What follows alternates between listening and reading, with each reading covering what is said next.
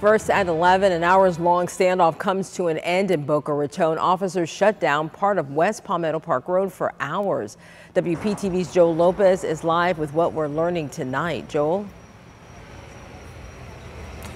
Hey, Tanya, Boca Raton police confirming with me that the man inside that home was found dead. Now, if you take a look down the road, you can still see an active scene. Police tell me that they have located the possible explosive and they're waiting on a specialized team to come and help remove the device.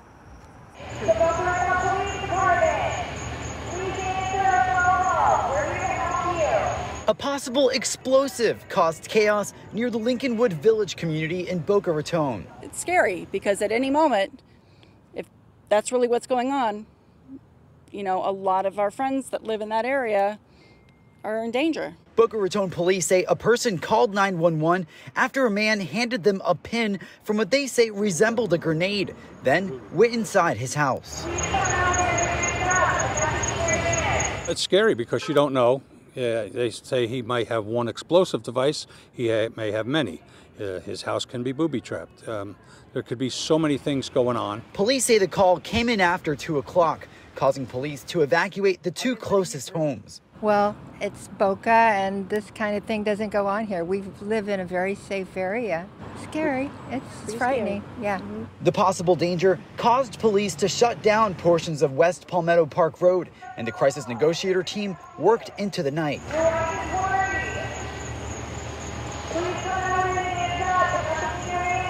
Blocking off the roads, keeping people. It's a little, it's a little tough on the people trying to get home, but it's for the best, and they're doing a good job down there. Boca Raton police say the SWAT team, drones, and a bomb unit were all on scene, and with the help of their robotic equipment, they confirmed the man inside was dead. We both raised our children here, a quiet little neighborhood, and never had anything like this happen. Now we have grandchildren, next generation. I was going out to walk my grandson when this all started.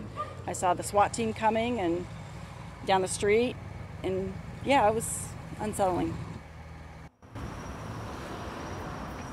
Right now, Boca Raton police say there is no threat to the public and they're working to notify the next of kin.